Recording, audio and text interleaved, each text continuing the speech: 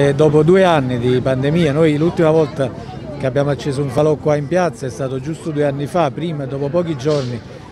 abbiamo avuto lo scoppio della pandemia e l'anno scorso non è stato possibile. Oggi davvero abbiamo voluto eh, rifarlo anche se soltanto in piazza per ragioni di sicurezza e quindi ne facciamo uno soltanto in uno spazio così ampio per evitare poi il discorso di assembramenti per ragioni di sicurezza, ma abbiamo voluto fortemente che si riprendesse questa, la nostra tradizione secolare di, di Atripalda e abbiamo anche il piacere di avere il Vescovo che è stato con noi a celebrare,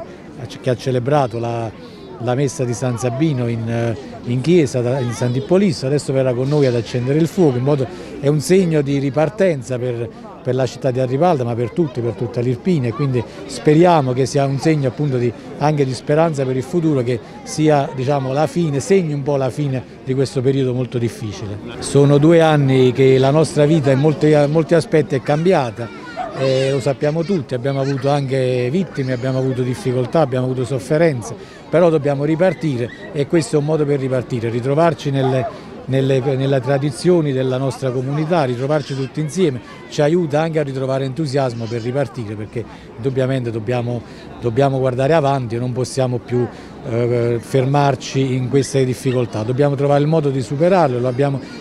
abbiamo lavorato in questi due anni, sono persone che hanno lavorato più degli altri, i medici, gli infermieri, la protezione civile, le forze dell'ordine, hanno lavorato più degli altri in questi due anni però adesso dobbiamo riprendere un po' entusiasmo tutti e provare diciamo, a riprendere la nostra vita, i nostri progetti e questo è un simbolo importante. Ma illuminiamo innanzitutto la città di Arripalda che deve ritrovarsi nella sua nel, come senso di comunità e illumina il futuro, illumina i, le, gli anni che verranno, illumina la vita che verrà e che dobbiamo, dobbiamo cercare di, ripeto, di, di, ripercorrere nuovamente con nuovo entusiasmo ma con, tenendo ferme le radici in quella che è la, le tradizioni della nostra comunità. Quindi ovviamente invochiamo l'aiuto di San Sabino per questo, come è sempre stato storicamente per la nostra città, che, che ci guarda e ci illumina il, diciamo, il percorso che dovremo affrontare riprendere le tradizioni è un segnale che la ripresa è vicina anche alla normalizzazione e poi è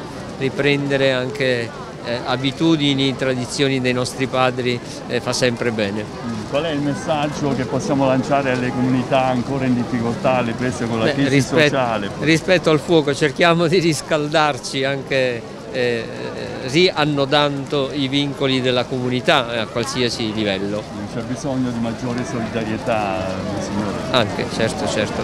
Dobbiamo accorgerci di quelli che hanno più bisogno e che eh, dire, escono particolarmente penalizzati eh, da questi due anni che abbiamo vissuto. Stasera abbiamo ammirato le parole, abbiamo sentito le parole del Papa da Fazio in tv, ha parlato di una maggiore eh, solidarietà e di toccare con mano la povertà. Purtroppo lei lo sa, Vescovo, c'è stato un senza tetto che è morto ad Avellino, al centro eh, della città, si poteva fare di più, bisogna eh, cercare comunque di stare più uniti.